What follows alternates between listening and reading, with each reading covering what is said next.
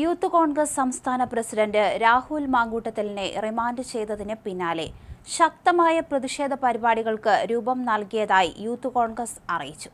സംഭവം സംഘടനയ്ക്ക് കൂടുതൽ ഊർജം നൽകിയിട്ടുണ്ടെന്നാണ് വിലയിരുത്തൽ. രാഹുലിന്റെ വാപുത്തുന്ന പോലീസിന്റെയും ഭരണകൂടത്തിന്റെയും ശൈലി പൊതുസമൂഹത്തിൽ ചർച്ചയാക്കാനാണ് യൂത്ത് കോൺഗ്രസിന്റെ തീരുമാനം. സംഭവത്തിൽ പ്രതിഷേധിച്ച് യൂത്ത് കോൺഗ്രസ് സമരജ്വാല എന്ന പേരിൽ പ്രതിഷേധം സംഘടിപ്പിക്കുമെന്ന് സംസ്ഥാന വൈസ് പ്രസിഡന്റ് അബിൻ വർക്കി അറിയിച്ചു. ഇന്ന് രാവിലെ പതിനൊന്ന് മണിക്ക് തിരുവനന്തപുരം ജില്ലാ കമ്മിറ്റിയുടെ നേതൃത്വത്തിൽ സെക്രട്ടേറിയറ്റ് മാർച്ചും വൈകിട്ട് ആറ് മണിക്ക് സംസ്ഥാനത്തുടനീളമുള്ള പോലീസ് സ്റ്റേഷനുകളിലേക്കും മണ്ഡലം ആസ്ഥാനങ്ങളിലേക്കും യൂത്ത് കോൺഗ്രസ് കമ്മിറ്റിയുടെ നേതൃത്വത്തിൽ സംഘടിപ്പിക്കും.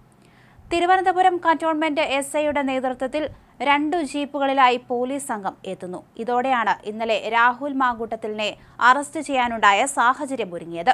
അതിങ്ങനെയാണ് അടൂർ പോലീസ് സംഘം ഒപ്പമുണ്ടായിരുന്നു.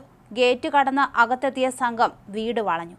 രാഹുലിന്റെ അമ്മ ബീന ആർ കുറുപ്പ് പറഞ്ഞത് ഇങ്ങനെയാണ്. പോലീസ് കോളിംഗ് ബെല്ല് അടിച്ചില്ല.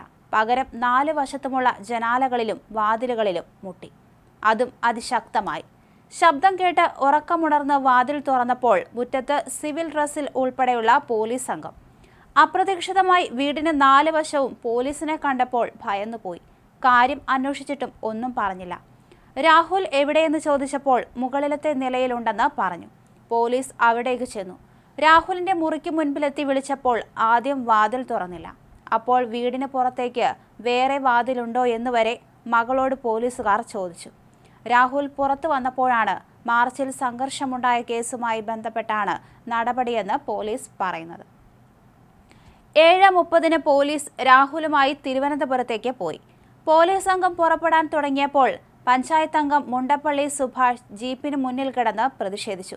ഇദ്ദേഹത്തെ നീക്കി വാഹനം മുന്നോട്ട് നീക്കി.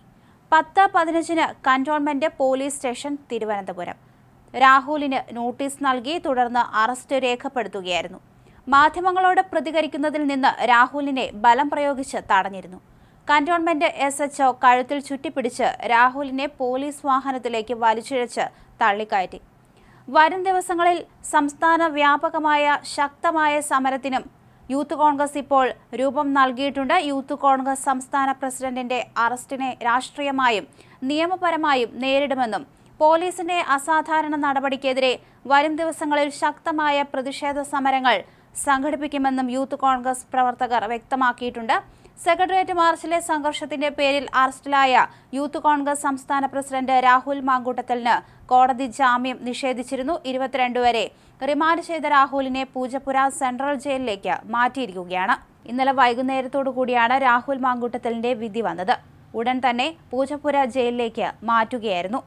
മൂന്ന് തവണ മെഡിക്കൽ ചെക്കപ്പിന് ശേഷമാണ് രാഹുലിനെ ജയിലിലേക്ക് മാറ്റിയത്. ഇരുപത്തിരണ്ട് വരെയാണ് റിമാൻഡിൽ തുടരുക.